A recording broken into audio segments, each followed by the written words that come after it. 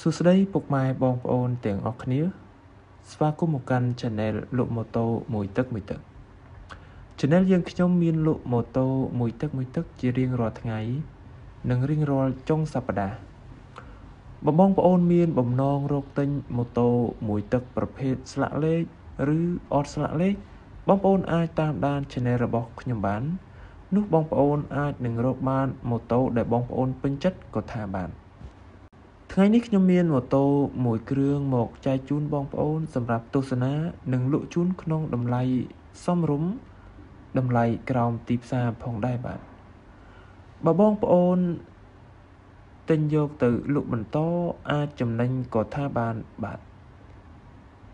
មើលទៅម៉ូតូនេះនៅថ្មីគូសំល្មមយកទៅប្រើប្រាស់បានឬលក់បន្តបាន នេះជាប្រភេទម៉ូតូស្អាតដៃជើងស្អាតអត់បុកអត់ប៉ះម៉ាស៊ីនស្ងាត់ហាប់ណែនល្អមើលទៅខ្ចៅខ្យងវិញអត់តន់ដាច់រលាត់នៅឡើយអញនិយាយបានថាវានៅស្អាតច្រើនឬក៏នៅស៊ីនរបស់វាច្រើននិយាយរួមទៅអាចនិយាយបានថាថ្មី70ទៅ80% សម្រាប់តម្លៃខ្ញុំនឹងដាក់នៅក្នុងចុងវីដេអូឬក៏នៅក្នុង description